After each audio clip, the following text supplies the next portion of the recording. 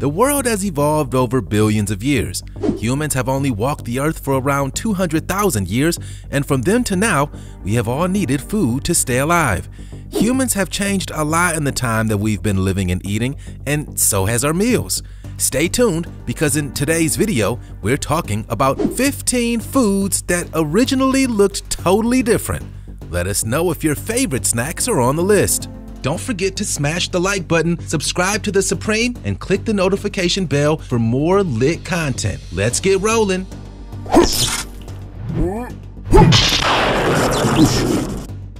Number 15 Watermelon. If you think watermelon seeds are a bit of a bummer, just wait until you see what a watermelon looked like in the 1600s. Watermelons are native to West Africa and come from a flowering plant. Evidence of watermelon cultivation along the River Nile and Nile Valley have been found dating back to the 2nd century BCE. Watermelon seeds have been found in the tomb of Pharaoh Tutankhamun. By the 7th century, watermelons were being cultivated in India, and by the 10th century, they had reached China and Spain. By the 1600s, they were making their way into European gardens. Giovanni Stanchi and Albert Eckhout show watermelons as they were circa 400 years ago, and they look pretty different than they do today. Earlier forms of the fruit show them as having bigger seeds and less juicy red flesh. The red-fleshed watermelons we see today have come as a result of careful cultivation. Humans selectively bred the fruit to encourage smaller seeds and less rind. If you're shocked at that transformation, think about how the fruit will look 400 years from right now. In Japan, square and triangle watermelons are already a thing. So, what else is possible? Number 14. Wild Banana did you know that we can trace banana cultivation back 7,000 years? Some think they were grown for consumption as early as 10,000 years ago. Wild bananas are native to what is now Papua New Guinea. There are references to bananas in Buddhist scripture as far back as 600 BC. It's thought that bananas were introduced to Africa 2,500 years ago and then traded across coastal regions in the Indian Ocean from the 5th century. Bananas arrived in the Americas in the 1600s and Australia in the 1800s. The fruit we know today come from two wild species, Musa acuminata and Musa balbisiana. Bananas are related to the plantain, a type of cooking banana. The two fruits are similar, but bananas are generally softer, sweeter, and less starchy. Early bananas were filled with hard seeds, but we've bred them to prioritize the soft, edible flesh. These days, the most popular banana is the Cavendish variety, but did you know that our ancestors in the early 1900s were eating Gros Michel bananas, which were said to be creamier and sweeter? The Gros Michel died out as a result of the Panama disease, and growers had to scramble to find a fair alternative. Some people are worried that the Cavendish will become susceptible to disease one day too. A world without bananas? Can you even imagine? Number 13. Proto carrot. When I was a kid, I really didn't like carrots, but as an adult, my taste buds have changed, and I can enjoy one for what it is. When I say carrot, you guys imagine a bright orange vegetable, right? Well, it turns out that the root vegetable is only predominantly orange because of a historic Dutch war victory against the Spanish. Wild carrots are believed to have originated from Central Asia and originally had seeds and aromatic leaves. Carrot seeds have been found in Switzerland and South Germany dating back to 2000 to 3000 BC. Root carrots began popping up in Afghanistan around the 8th century, and ancient ancient carrots were a lot less sweet. So here's a shocking carrot fact. They come in a lot of different colors. OG carrots can be black, purple, red, yellow, white, and even orange. You can still buy different color carrots today, although they're a lot less popular and not widely distributed. The reason that orange carrots are the most popular variety is because of William Prince of Orange, a Dutchman known as the leader of the Dutch revolt against Spain that sparked the 80 Years' War. Eventually, the sweeter flavor was also selectively bred through the vegetable, making them better tasting. A little bonus fact for you, carrots don't help you see in the dark, but they could turn your skin a faint orange if you overconsume them. Number 12. Corn. Corn has been at the heart of agriculture for 9,000 years or more and can be traced back to the teosinte plant and maize plant. Corn was first domesticated in 7000 BC and was found only in southern Mexico. Back then, maize corn was just one inch long and there was only one per plant. It seems that it took a lot more effort to peel. Kernels were very, very hard and the vegetables tasted like raw, dry potato. Later, the plant was hybridized to create something a little more like what we know today, which is 1,000 times larger than its ancestor. Back then, corn was just 1.9% sugar, whereas today, it's 6.6% and much sweeter. The crop became way more palatable when European invaders started cultivating it. They also took the crop back to Europe, where it's now widely harvested. Number 11. Ancestor Apples Apples are so great, aren't they? I mean, I know they're a pretty regular fruit, but I'm gonna go out there and say that they're a little underrated. Apples are the perfect healthy snack, and they can also be used to make apple pie, which is one of the all-time best desserts. And you can't have cider without apples. I always think of apples as being American because they're a big part of our culture, but actually European colonists brought the fruits over. Apples have been grown for thousands of years in Asia and Europe and are thought to have originated in the Tian Shan Mountains of Kazakhstan. The original apple forests are thought to still exist. Original apples would have been a mix of green and red and were first noted in around 4000 BCE. Apples spread across the world along the Silk Road and they became the perfect fruit for humans as they are rich in nutrients and they travel very well. These days, there are 7,500 known types of apple which have been selectively bred by humans to have different colors, textures, and flavors. Number 10. Marshmallow. Did you know that marshmallows originally came from plants with pink flowers? The mallow plant is an herb native to Europe, North Africa, and Asia and grows in damp, marshy areas. Makes sense. Early marshmallows were consumed as a sweet confectionery treat by the Egyptians in 2000 BCE. The root of the plant was boiled and pulped with honey, but it was an exclusive candy saved only for royalty and members of extreme high society. Marshmallow flowers made their way to France where confectioners whipped the sap from the mallow root and poured it into a fluffy candy mold. Eventually, by the 1800s, candy makers began whipping the root with sugar, water, and egg whites. The mallow root was eventually replaced with gelatin, swapping flower roots for crushed bones. Until the 1950s, marshmallows were long ropes until they were manufactured in the United States and Alex Doumak patented the marshmallow making process. What's crazy is that marshmallows have only looked like we know them today since the 50s, but Girl Scouts have been making s'mores since 1927. Uh, I love s'mores. Number 9. Eggplant. Eggplants, or aubergines as they're also known as, are thought to have originated in India or Africa. These days, wild eggplants still grow in India. Imagine eggplant picking. That'd be kind of fun. Eggplants made their way across the Mediterranean, and in the 12th century, they were readily grown in Spain. I guess I kind of made that sound like they just packed a suitcase and started traveling on their own account. Obviously, it was hungry humans who spread them around, but interestingly, eggplants were thought to be poisonous because they're related to deadly nightshade plants. Although the fruit itself won't harm you, the flowers and leaves are poisonous. That being said, in Italian and Egyptian folklore, it said that eggplants make people crazy. Originally, the fruit was first recorded as being white and were a lot smaller, which is how it got its name of eggplant. You can still find white eggplants today, although the deep purple color is most commonly in the West. Primitive eggplants had spines and were much shorter fruits. The fruit we know today is a result of selective breeding. Number 8 Toxic cucumber. Cucumbers come from South Asia, although North America is also home to the wild cucumber, which isn't the same thing.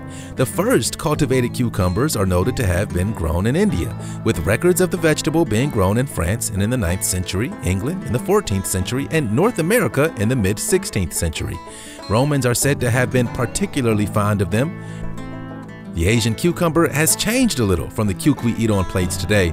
They were lumpier and had larger seeds. Selective breeding has led them to become smoother and with softer, smaller seeds. North American wild cucumber, on the other hand, is an aggressive and invasive plant that will cause damage to trees and shrubs. You can't eat these cucumbers, they don't taste good at all. Here's a quick crazy fact that I learned about cucumbers today. Apparently, in the early eras, women would wear cucumbers around their waist in order to increase their chances of conceiving a child. Hmm, that's interesting. Number 7. The original cabbage. Cabbage may not sound that exciting, but it has a pretty rich history. Cabbage dates back to at least 1000 BC, and it's thought that varieties grew in Asia and Europe separately. The ancient Greeks were known to cultivate cabbage, and it was also a known component of Roman medicine, with cabbage used to cure headaches, gout, and symptoms of light poisoning. In European cuisine, cabbage was a staple throughout the Middle Ages, although generally speaking, it was eaten by poorer members of society because it was cheap and readily available. From artistic depictions in the 15th century, cabbages appear very large and leafy. They were tight balls of leaves and needed to be cut finely and boiled for a long time. It's thought that the Savoy cabbage that we know today was cultivated sometime in the 1700s. Did you know that these days China is the largest producer of cabbage, but Russia is the biggest consumer? Cabbage facts. Don't say I didn't teach you anything. Number 6. Wild avocado. It's thought that avocados originated in Mexico, which would make sense as they're still a large part of Mexican cuisine and culture. These days, Mexico produces 34% of the world's supply of avocados. There's also some historical speculation that separate domestications cropped up in Guatemala and West India.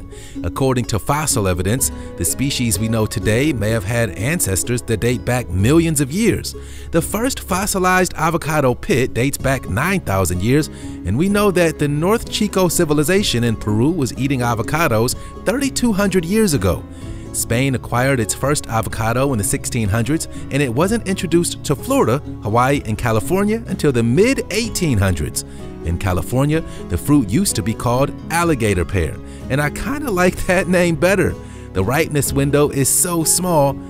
Ancient avocados were thought to be just bigger than acorn sized and with disproportionately big stones. Humans have cultivated avocados to be bigger with a higher flesh to stone ratio, although I still think avocados are difficult. Avocados are continuing to evolve. Recently, seedless avocados made their way into stores, and not only does that fruit not have a big stone, you can also apparently eat the skin. Now that's crazy. Number 5. Mincemeat. Mincemeat is weird and confusing. As an American, I thought that mincemeat was like ground beef or something like that, but British people call their ground meat mince. So when I heard a British person talking about a mincemeat pie, I assumed it was a meat pie. But I know some Europeans do. I'm a sweet pie guy myself, so I was surprised to find out that mincemeat in the UK is actually a sweet thing. It's like loads of fruit mushed together. The sweet pie is eaten at Christmas, although it turns out that historically mincemeat did used to actually be meat meat. But now I'm totally confused and my head kinda hurts. Shakespeare mentioned mincemeat in Hamlet. And back then the recipe called for pork, stewed bird, rabbit, eggs, cheese, saffron, fruits, and salt, all cooked into a pie shell. The rich dish would be eaten during celebrations. The treats were banned by the joyless ruler of Britain in the 1600s, but they made a comeback in the Victorian era, although this was when chefs dropped the meat, with palates no longer primed for a mix of sweet and savory, which I kinda get. Hawaiian pizza is always divisive. Since the late 1800s, mincemeat pies have been firmly back on the menu in the UK, and British people eat them at Christmas, although they're strictly meat-free these days. Okay, Britain, you've officially confused me with your quirkiness. Number 4. Strawberries. I love strawberries. They're a lot of people's favorite fruits. I love strawberry flavor, and sometimes I think of strawberries as nature's candy. Strawberries are a member of the rose family, which has come as news to me. Strawberries come from the Americas, and native tribes picked and ate them wild. The original strawberries come from Virginia and Chile. Shockingly, people didn't begin to cultivate strawberries until the plant was transported to Europe during the Renaissance. It's thought that strawberries got their name from being sold as treat items in open markets, skewered and ready to eat on a skewer. Strawberries became a delicacy in Europe, with today's classic dish of strawberries and cream first debuting in the court of King Henry VIII. Over the years, horticulturalists figured out how to cultivate them asexually. Ancient strawberries were said to be much spikier and smaller, with human intervention meaning we cultivated smoother, juicier fruits. Number 3. Peaches. Peaches were first cultivated in 6000 BCE in the Zhejiang province of China and have been mentioned in Chinese literature since as early as 1000 BCE. Some people claim that Alexander the Great introduced the peach to Europe after conquering the Persians, which may or may not be true. It was eventually brought over to the Americas in the 16th century by Spanish invaders. Until the 19th century, a peach was a delicacy in the UK and France. So what did peaches look like back then? It seems that in circa 4000 BCE, peaches were cherry-sized, were 36% stone, and had waxy skin and tasted a little salty, a bit like a lentil. What? That sounds crazy. Today's fleshier peaches are around 64 times bigger than their ancestors. Our modern peaches are said to be 27% juicier and 4% sweeter. I don't know how we can say that for sure though. Cherry-sized peaches would be so strange although maybe they'd be easier to eat. I never eat a peach outside the comfort of my own home because that juice splatters everywhere and it can be kind of savage. Number 2.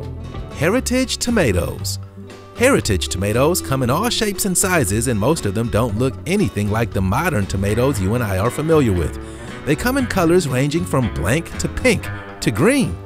Some are tiny and others the size of your fist. The reason that many of these types of tomatoes fell out of fashion was because today's tomatoes are said to be more disease resistant and commercially viable.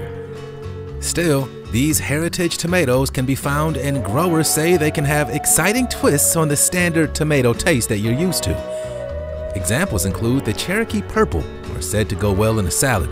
Anna Romaines have a more tart flavor, while Lillian's yellow heirlooms are said to be so meaty they're almost solid.